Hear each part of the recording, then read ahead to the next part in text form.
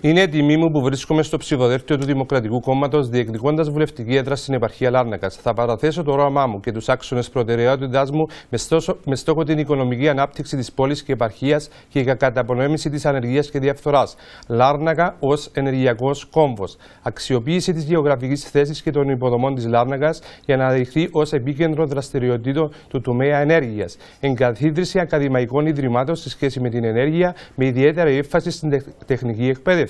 Λάρναγα ως τουριστικός προορισμός. Αξιοποίηση και ανάδειξη του συγκριτικού πλεονεκτήματος τη Λάρναγα ως μοναδική πόλη με αεροδρόμιο, λιμάνι, μαρίνα. Αξιοποίηση του φυσικού πλούτου, της ιστορίας και του πολιτισμού της για διαμόρφωση ενός εναλλακτικού βιώσιμου τουριστικού προϊόντος. Προστασία και ενοποίηση του παραλιακού μετόπου και άμεση απομάκρυση των πετελαϊκών εγκαταστάσεων στο δρόμο Λάρνακα Ζεγέλια.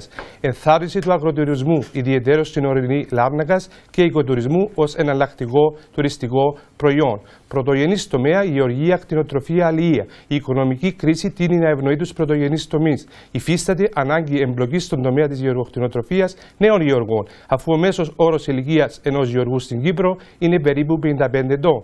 Η Κύπρος, σαν νησί, έχει μεγάλες προοπτικές, ιδιαίτερα για ηχθειοκαλλιέργεια ανοιχτής θάλασσας. Επίσης, υπάρχουν προοπτικές για ηχθειοκαλλιέργεια γλυκού νερού σε ορισμένα από τα φράγματα της Κύπρου.